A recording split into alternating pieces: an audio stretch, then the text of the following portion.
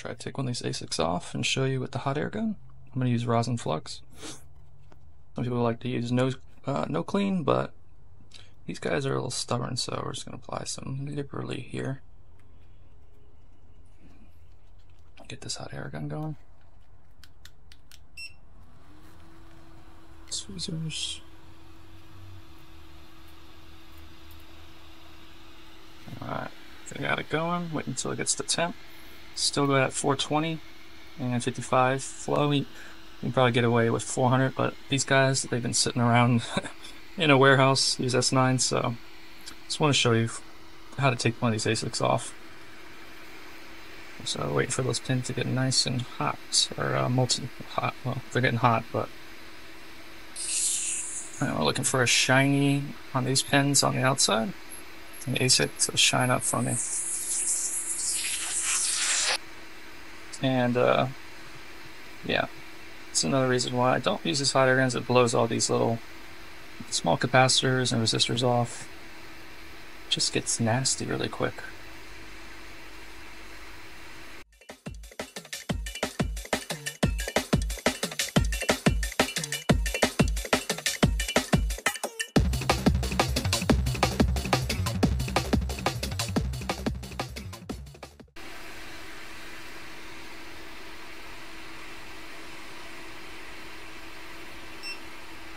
There she goes. Oh, had her. Oh, she's off. It's epoxy holding it. All right, got her. All right, and we're gonna place that on a heat resistant. Uh, think so. All right, ASIC off. Let's take a look at the pad. See how they're shining up again. That was a lot of heat. Um, I think the problem is this epoxy right here was just holding on to dear life, and I couldn't really get a grip on it, you know what I mean? But usually I try to lift it straight up with a hot air gun. But uh, yeah, this is just an alternative method. If you don't, a lot of people don't have the heavy duty soldering iron. So I'm to clean her up and we're going to put her back on and I'll show you that. Alright, we're going to try with a clean one here. Heat up the pads a little bit first.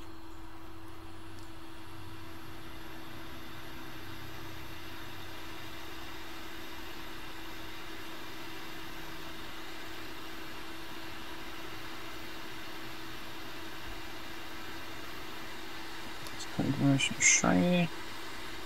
I'll try the drop technique. I'm not really a fan of it, but I'll give it to it.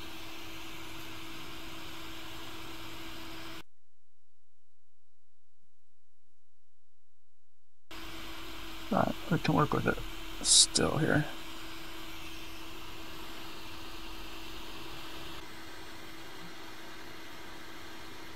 Notice I'm knocking all these capacitors out.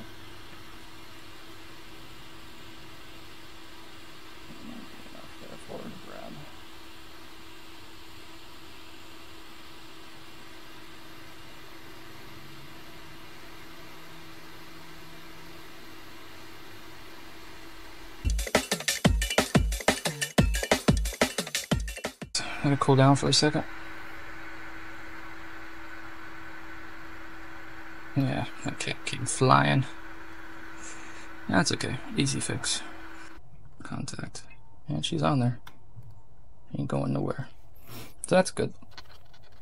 So I just wanted to show you that. Another one without the epoxy. We hope you found this content helpful. If you did, please consider sharing and liking this video to help train and support our industry.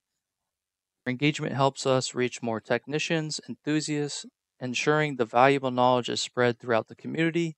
Don't forget to subscribe to our YouTube channel for more upcoming content, where we'll continue to provide in-depth demonstrations and insights into the ASIC repair and diagnostic industry. Thank you for watching and happy repairing.